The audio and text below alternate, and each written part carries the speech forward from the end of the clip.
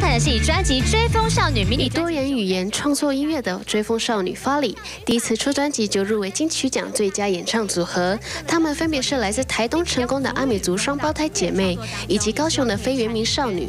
原本就是高中同学的三位成员，是因为参加一个传统歌谣比赛而成团。团体名称的命名过程也是相当有趣。我们就想说啊，反正没就没钱吃饭啊，吃风好了啦，那就美丽的用追风，然后刚好风的阿美族的名字是法力的意思。三位团员合作到后来，竟发现除了双胞胎姐妹外，就连第三位成员也都是同年同月同日生。这样的巧合更加深了团员彼此的默契与信任。而这次入围最佳演唱组合专辑《九二九》，就是三人的生日，九月二十九号。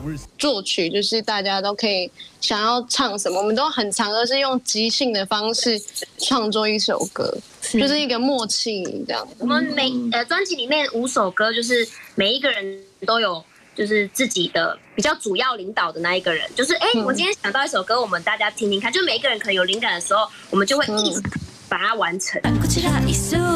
虽然邓奇勋并非原住民，但他认为语言文化无论用什么方式都应该好好学习并保存流传。而团员林千云也认为，虽然自己是阿美族，但他也在努力学习口簧琴，希望将原民传统乐器文化传承下去，并融入自己的音乐创作中。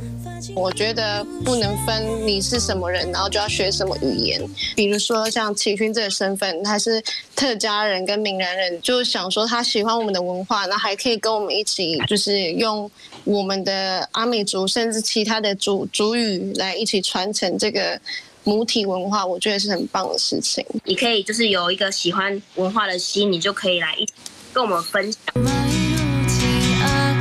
是谁？只要愿意，并且有心想要学习族语文化，我们都应该要接纳，并且一起努力把多元文化传承下去。